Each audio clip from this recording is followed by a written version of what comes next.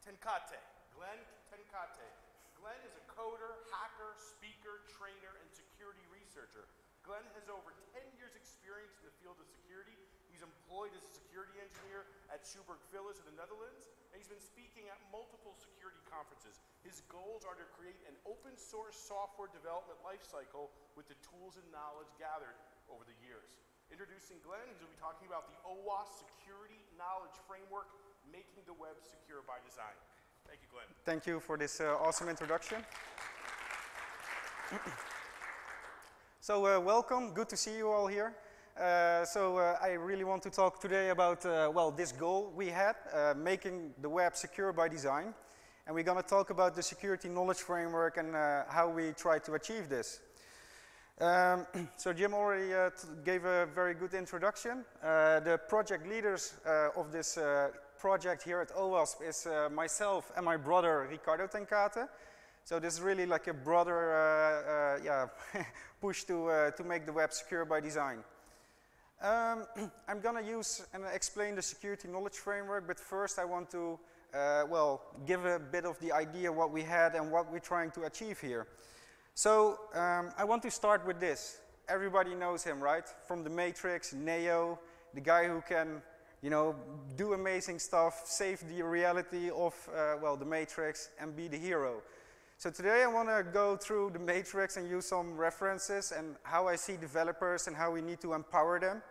Uh, because, yeah, basically, this is what we're up against, like automated pwnage, agents everywhere. You don't know, uh, you can see the lady in red and suddenly it can be an agent, right? So we have a, a big thing here that we need to tackle. And um, it's also, we need to do this together. We need to share this information that we get over the years as security professionals, and we need to share knowledge to have a chance uh, against those type of guys. Um, because, uh, so the security knowledge framework really uh, fits this uh, uh, yeah, position and helps you to, feed against those type of guys. Um, so why did we, uh, in, in the first place, even start with the security knowledge framework?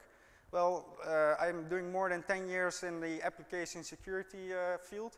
And over the 10 years, it gets more complex, more vulnerabilities, and it's even harder to maintain or get even a grip on it. Um, so as you can see here, we, I had a lot of deja vu moments that I had like, oh my God, again. So I keep replaying myself, replaying myself, and I, I thought like, we need to do this better. We need to uh, help people, empower them. because this is really the current situation of our developers. So as I talk about developers, I see how awesome they are. I mean, come on, they create all the functionality, they create the dreams of the business, right? Yeah, I want this functionality, it should integrate with this, this. So developers have a huge task to, to well, uh, do and, and correctly, but uh, too bad in the current situation it's like this. They have those awesome skills and, and potential, but yeah, they are dodging bullets, but they still got hit. So we need to alter this, we need to change this, we need to make from developers the real full-fledged Neo that won't have to dodge bullets he can just stop them, right? So with that in mind, by uh, empowering people, we wanted to give options. We wanted really to help developers. Not only companies, but the whole idea when we started the security knowledge framework was to even empower all the developers, you know, the single guy uh, developers like building awesome applications uh, at the addict or like businesses. So that's why we wanted to have some options. Um, Luckily, there are ways to learn. I mean, OWASP is a great source of resources that can help you and really level up your application security knowledge and, and uh, also with all the tooling out there. Um, but most important, it is now first you have to have a choice, right?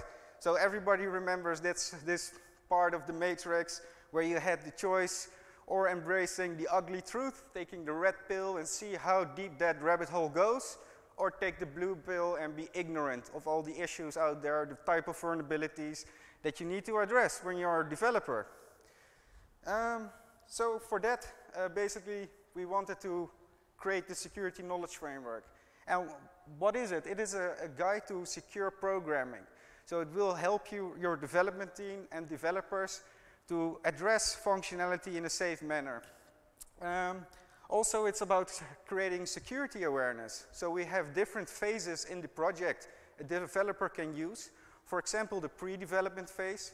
Uh, you would use it as a developer before you start writing code. Uh, and basically, you can select in the framework the different type of functionality or technologies you want to uh, use or going to build in your next sprint.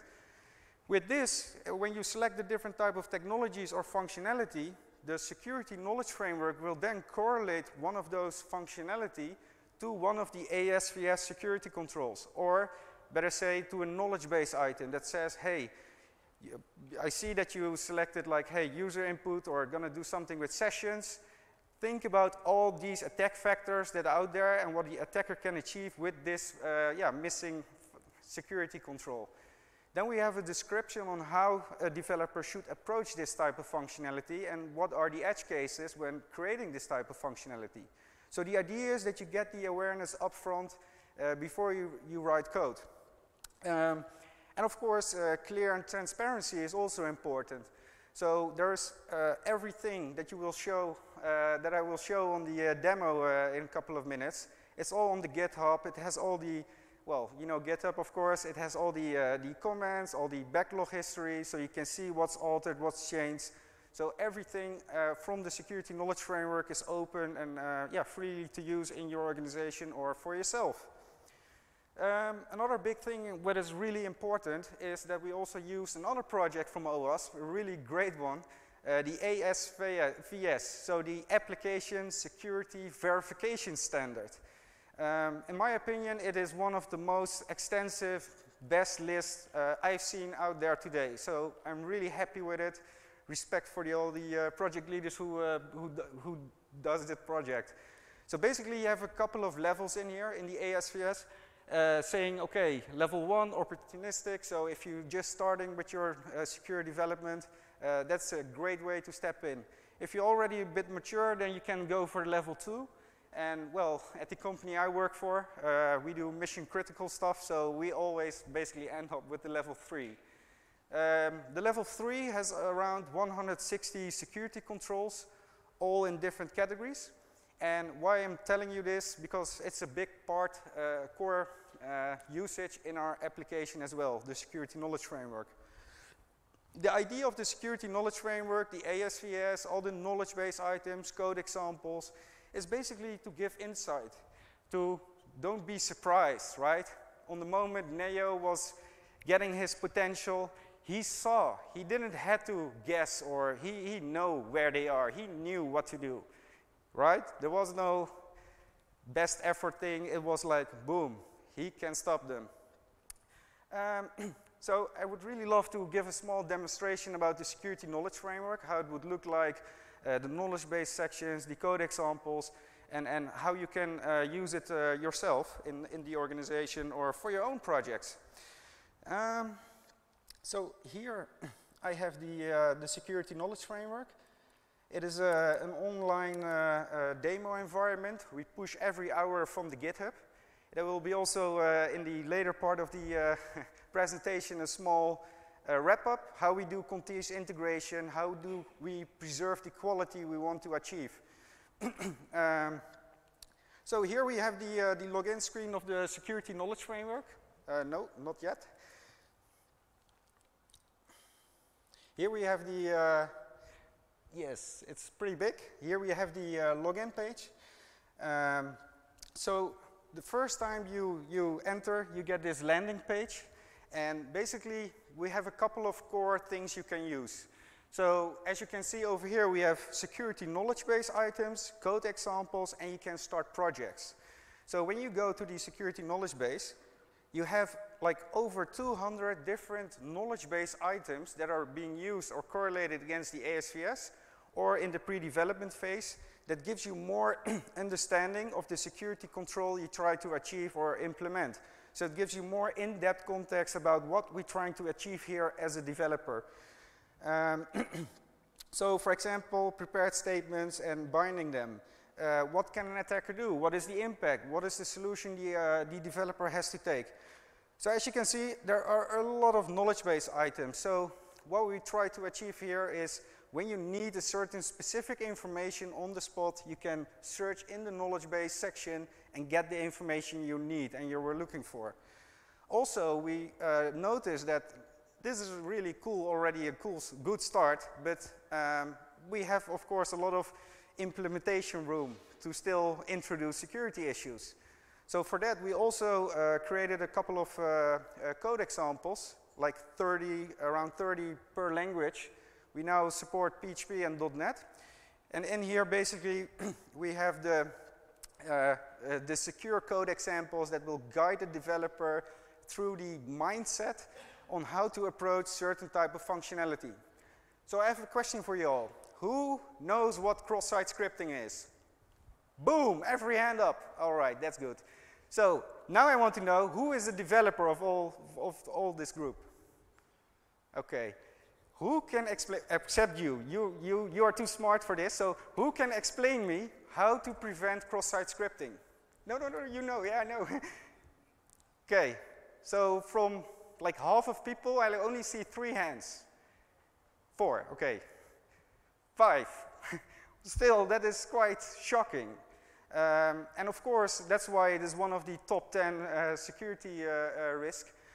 But still, that gives already the how, how hard it is. I mean, cross-site scripting is, is not that hard to tackle if you know how to properly approach it. So for example, um, in this uh, security knowledge framework, we have code examples where we also have um, examples on how to properly uh, escape output. And again, why is cross-site scripting so hard? Because you need, and that is basically the uh, answer to the question I was looking for, you need to treat different or have different approaches in different contexts. So, for example, if you have a, href uh, and you have the, uh, the possibility to inject in the URL, so where the link is placed, if you do there all the escaping, like the double quote, single quote, small n, greater than, all that dangerous characters, what do you think? Do we then still have a, a, safe, uh, have we made the user input safe? Or is it still possible to uh, create a cross-site scripting injection, for example? Well, the answer is yes, you can still inject a cross-site scripting injection by using the JavaScript double point and then your JavaScript code. Or even better, use the data double point and base 46 your string even to bypass even other like WAFs or stuff. So it's really hard. And this is what we're trying to achieve with the code example. So really going in depth and commenting um, yeah, on, on how to uh, approach and with wh what mindset. So here we have the different uh, uh, flavors on which context and how to escape it properly. So in here you have the URL encode with the JavaScript uh, example. So this is a great edge case that we normally forget about. So the security knowledge framework is to help developers understand the problem and give code examples that they can use to, well, create the right awareness. So those two things a developer can search and request on the spot if he needs more information about it or in-depth uh, how to implement certain type of functionality. Um, then we also support the, um, uh, the creation of projects. So the idea is that you uh, start, when you start building a new project, of course you will discuss with your team saying, hey, uh, we're going to build this web application or API which type of security requirements fits uh, our, our risk. So then you choose from level 1, 2, or 3 and stick to that and use that as a security requirement. So when you start a new project and you want to uh, monitor and look at uh, the progress, you can then select it and say, okay, when, when, um, when you have a new product, you would use the pre-development phase. This is what I said before. It gives you a sort of risk threat analysis of, hey, these type of functionality will or can contain these type of attack vectors.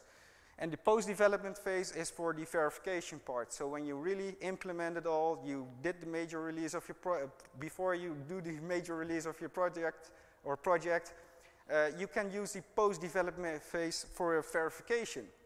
So let me go through the, the different phases. So basically this is the pre-development phase and in here you can say, okay, for this project and for sprint number three, I'm going to add uh, user registration or user functionality. Of course, you want to specify it a bit better, but um, then the idea is that you can select uh, the add function and then you have a pull down where you can say, okay, um, I need a user registration, uh, I'm going to use some third-party software, and I have to do something, I'm going to update the session state, for example. So now you can add those uh, things to, the, uh, to this specific project, and you can now say to the security knowledge framework, okay, let me, give me the feedback of all the possible things that can go wrong. As you can see, for the session uh, selection, there is no one thing you need to do. There are multiple things, and in fact, there are almost 14 things you need to think about or implement.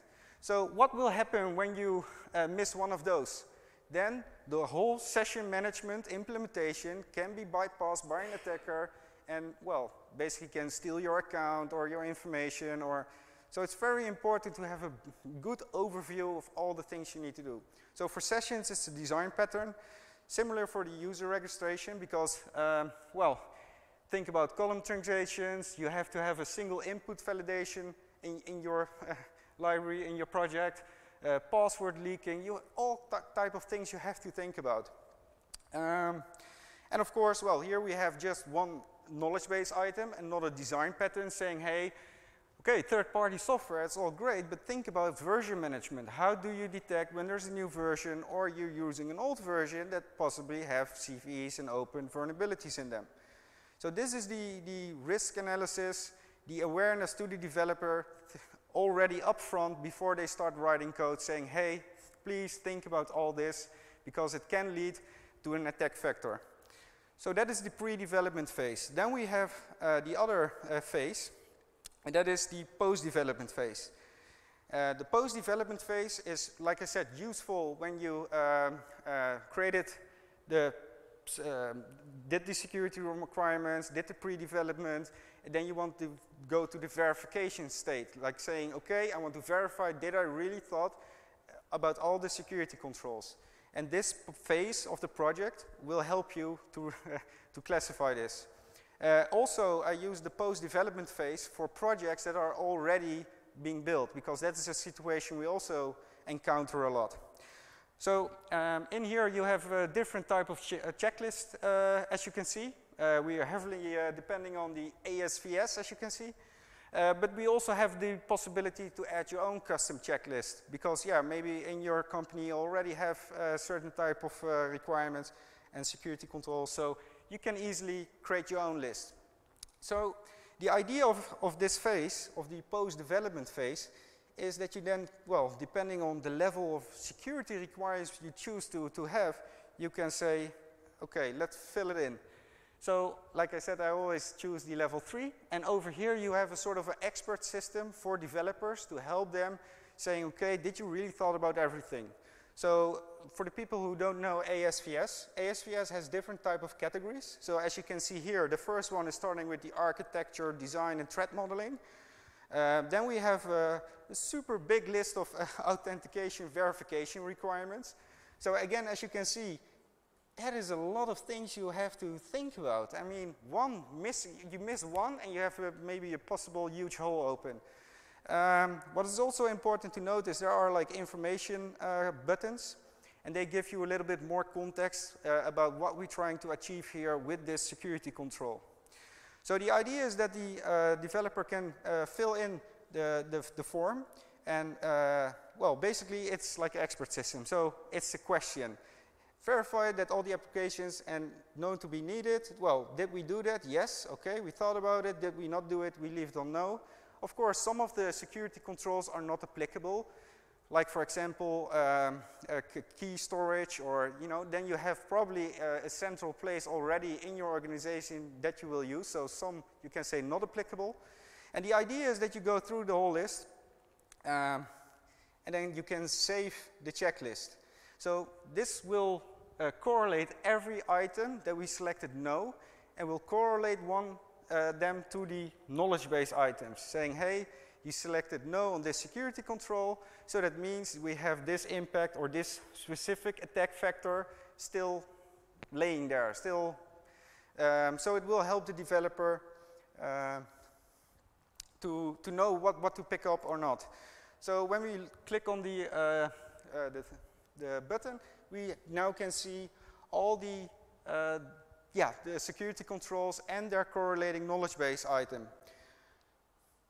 So again, it will help you and give you more feedback about, okay, if you don't implement this security control, this is the possible attack vector and also the, the, the solution on how to address it as a developer, how, what you should think about uh, when creating this.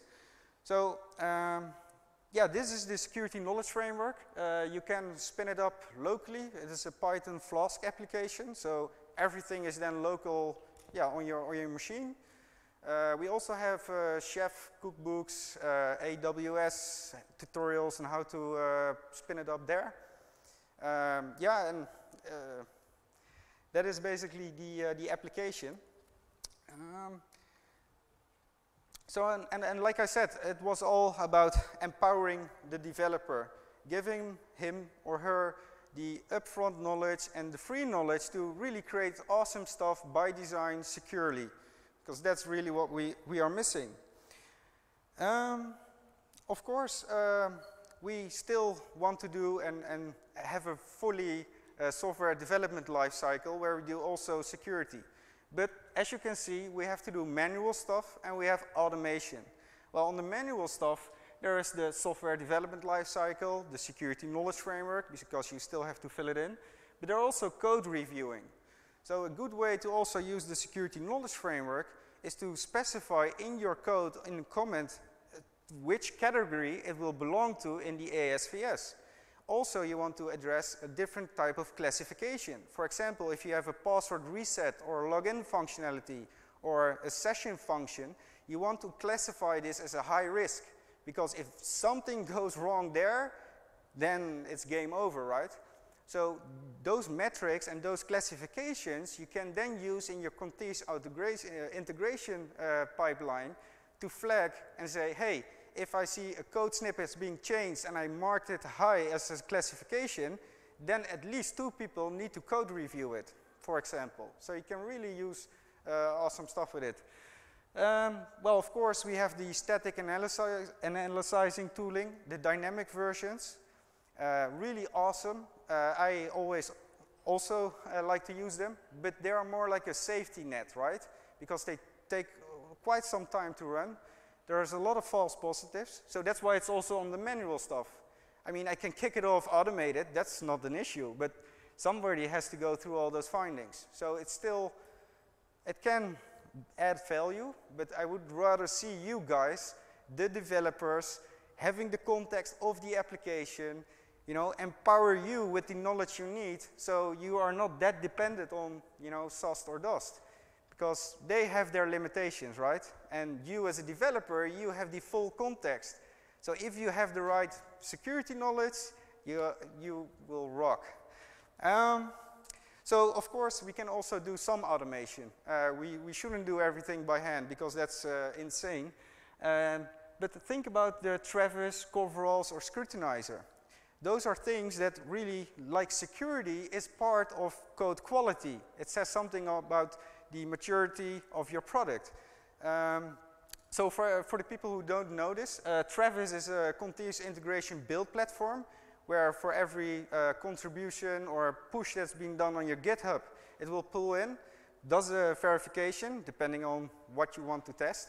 So in our case, it will pull the latest uh, uh, uh, request or modification from the GitHub, tries to build the project, and if there's no build errors or problems with it, it will continue to the next continuous integration tool, and that is coveralls. Because we also unit test all and functional testing all our yeah, functionality in the security knowledge framework. Because it would be very sad if somebody adds something and it will break the application. Then we have the last part, that is scrutinizer, and that's basically doing a code quality check. So not on security, but more on duplication code, uh, dead-end code, complex code. And the whole idea behind it is if we have people contributing to our project, uh, we can and they can see in like two minutes which phases they, they passed. So did they pass the Travis? Project can still build? Awesome, green badge. Did they pass all the unit tests and still up to the percentage it was before? Awesome, badge. And the last one, scrutinizer. that will give you the uh, rating of how good your code is. So if somebody really adds like shitty code, uh, it will immediately reflect in this badge saying, hey, I see, uh, yeah, the code is getting worse, so you get a lower grade. Um, I, uh, like I said, I have this also uh, in place for the Security Knowledge Framework project, so I really would love to uh, show you guys that. Um, also good to notice that all the tooling I, I show you now and the continuous integration tooling, you can also use for your own open source projects because the, the, the, the continuous integration services, they help open source projects by uh, let them use their services for free. So if you have open source projects, I would recommend to use that also. So now we're gonna go to the, um, the, the, security knowledge framework uh, GitHub. So as you can see here we have a pull request by uh, somebody uh, who did some syntax highlighting examples uh, for us. Um, super awesome. So what happens in the background is that Travis will see this change, will rebuild the whole uh, project with his contribution. So over here you can see he has now his own coveralls instance of his own fork of the project. Uh, he has his own uh, Travis build uh, that's uh, being run. So we can here have a look. So for this one, this is uh, how Travis will uh, display uh, the information. So here we have the commit of this uh, uh, great guy. Um, here it will pull in the latest uh, checkout. It will install the, the required packages for our framework. And then it tries to build it. When the build was successful and there's no exit code, then the unit testing will be kicking in, right? And that is what we see here, unit test being kicked in. If that's okay, no error, it will push the metrics to coveralls. Um, coveralls is a really nice uh, overview of the amount of percentage. So you can see in one single moment what the impact was of this change of this uh, contributor. So if you see it dropping, then something is wrong. So you can already uh, give the feedback back to him, or, well, of course, he sees it because it only takes like two minutes to get this feedback, right? Um, so here you have also different uh, branches uh, and different level of coverage, as you can see. So here we can track what the quality is of our project, because we don't want to let it drop, right? Then the, the final check, that is the code quality check. Like I said, this, this grading system will give you in one eye, one overview, what's going on, if it's good or if it's bad. It also will tell you of all the uh, uh, added functionality and methods which were really good and which were really bad. So for example, here we have the project checklist and the download file checklist. And they are rated critical. I know why, because they are duplicated. Big parts, chunks of that function is duplicated code that's being reused, well, in the file download file checklist and in the project file checklist. Also, these methods are really big and complex, so scrutinizer will say, yeah, this is like ridiculous, F. So this gives us already a prioritization of which type of methods or functions we have in our project itself and which we need to improve. Because again, if it's too complex, if it's dead-end code or, um, you know, it can also lead to security vulnerabilities. Um, so basically, this is how we, we maintain the quality of our project. Uh, we're going to extend it with a, little bit more continuous integration tooling. And like I said, it's free uh, for everybody to use if you have an uh, open source project. So I would really recommend it uh, to use it.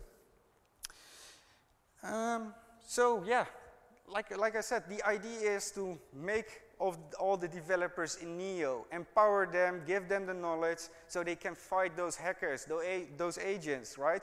To have a fair chance against them because now we are brutally slaughtered uh, by them. And you know, I, I, believe in this, that every developer can be Neo, that you don't have to dodge bullets. You can just simply stop them. Um, also, uh, we would love to get more people involved into our project. Uh, the more people chip in and help, that's the, you know, the better we, we can make this. And everybody, uh, yeah, should, should help. I mean, the, the current state of security is, is not as, as good as I, I would like to see it. So if you have experience in, in some of the categories or fields or you're good in, in grammar, because I'm not, or, uh, or good at certain type of uh, uh, coding languages and you know, uh, yeah, please step in. I mean, this is for the greater good, right? To help everybody out, get better and achieve the quality we want. Um, and yeah, I also want to say one more thing, like, you are as strong as the weakest developer in your team. So help each other. Get, give training, uh, share your experience, you know, get involved. Join OWASP or other great OWASP projects. I mean, we're really in this together. So this was the, uh, the uh, presentation I wanted to give. Um, I hope uh, it was good. And if you have any questions, please let me know.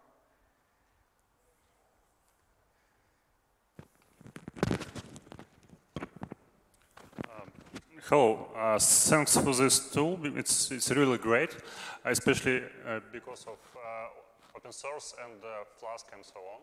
It's a great tool. Uh, my question is, uh, is there is opportunity to, to make localizations of, of, of knowledge in this base? Sorry, one more time? Uh, is, is there is a way to make a localization of, uh, of this information in this, this, in this framework? I, I, mean, for example, cross-site scripting. Uh, if we, in our company we want to, to, to, to make our, our own localization and our own description and so on, is it possible? Oh yeah, of course. Yeah, that's a good question. Um, Maybe I can show you a little bit how it's now structurized because that will help you uh, understand a bit more how to refactor or rebuild or like adding your own uh, knowledge base items. Let me see where my GitHub went to. GitHub. So, um, so the project itself, uh, all the knowledge base items, code examples, all that stuff, uh, is basically all in markdown format. um, so if you add in the knowledge base sections your own markdown format and you increase the number, then it will add automatically in the security knowledge framework. So you, even people who don't know how to program Python or whatever, they can still contribute. The system will pick it up and will show it. Um, the same for the, uh, uh, the code examples. See, internet's a little slow. But again, it's also all in markdown format, every code snippet that we're using. Um, also good to mention, we are now revamping the project again because we did it already a couple of times. And we now want to move to an API base, so it's also easier to get and subtract knowledge base items from the security knowledge framework through the API. So you can easier integrate it into your pipeline and automation. Um, I noticed in the um, in your demo there was a groups section. Is this for, is this intended for community-based uh, feedback, like a Q&A, Stack Overflow for security questions type thing, or? Uh, good question. No, it's, it's more, uh, so the idea when we started this project, it was to empower developers. Local machine, they have a toolkit they can use like, like, you know, picking up the right good hammer and the good screwdriver with the right head. This is the toolbox we created. Uh, but then uh, business was like, holy, this is super cool. We, we want this as a service. But then we had to, well, we have different projects and different users and they shouldn't look at each other's projects. So we had to include separation. So you can also work with multiple projects and with different users in the same security knowledge framework. So you have some segmentation. Um, so yeah, uh, but another great uh, thing because we do um, uh, have like support uh, possibilities. So this is the installation and documentation of the security knowledge framework. It's really extensive, how to set it up, how to start with it, with screenshots, all that stuff. But we also have a, a support uh, a tab over here that you can ask questions like, hey, I'm running into this bug, how to fix it. Normally within a couple of hours or days we respond because we're really quick and we want to make it as best as possible. Um, so yeah, here you can ask questions, or if you need help, then you know this is could be a place to to drop it. Um, again, the readme.io, that is a, a, service you normally pay for, but if you have an open source project, they give this uh, service for you to, to use. So again, great thing to, to use. uh, any other questions?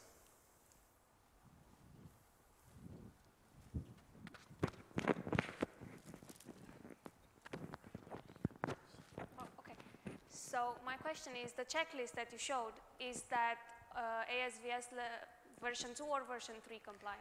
That's a good question. So um, it is the latest, no, not the latest, because that's released yesterday. It is the 3.0 version. Um, the project is now like a year old, so we started with the 2.0 version. Uh, and that was thanks to uh, Jim because he said like, this is amazing project, ASVS, did, did you hear about it? I'm like, no, looked at it and was amazed. So that's why we hooked into ASVS and, and well, again, trying to do this together, right? Uh, and, and help, help people. We released 3.0.1 yesterday, but it was just typo. So uh, SKF, uh, the knowledge framework's at the latest version right now. Uh, any other questions? More questions, more questions. Maybe it's uh, good to uh, tell you uh, uh, also how I uh, used it in, in, my daily job. So again, a lot of in internal developer teams using it and also our partners. So what I normally do is let the developers go through the post-development checklist, let them select all the different, uh, well, the, the, the, questions.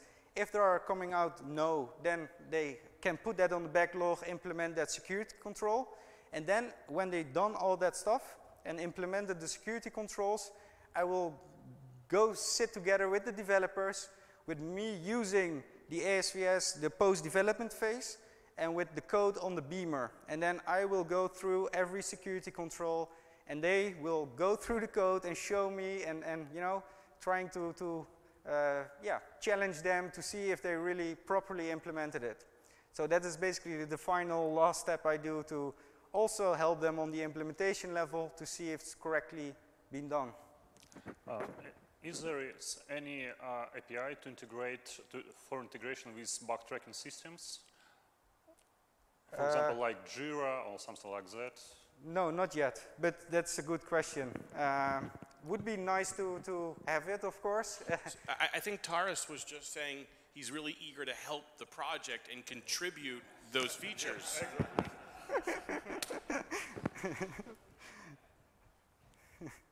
Any uh, other questions?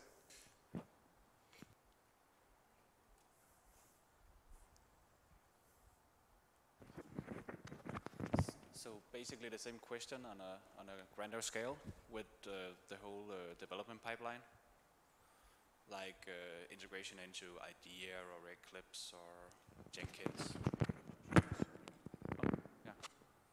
So, um, if there's any uh, concrete plans for integrating this into the development pipeline of, uh, of most software companies where you both have a build system with Jenkins and you have your development environment like Eclipse or IDEA and stuff like that?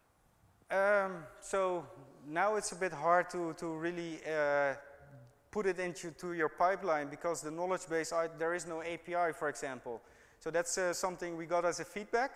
Uh, so we're now moving to API based because then you can just use it only for the knowledge base items and to get that information out of it or you can also, for example, run the client, that's an Angular application that will talk to the API, and then you still have the same application, right?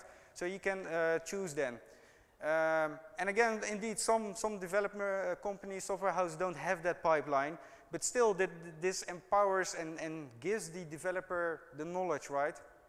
Um, and, and the awareness that he needs to have. So moving from a best effort situation to a ver verifiable situation. Uh, so it, it can benefit from, yeah, so many different angles, basically. So what works for you best, uh, yeah. And if you have good experience with it, please share it so, well, we can further improve it and take it with us. So, Any more questions? As you're heading out, you'll see a, a, a green card and a red card to comment on this talk. Please put one in the basket. A warm round of applause for Glen. Thank you, Glen, for being here. thank you all.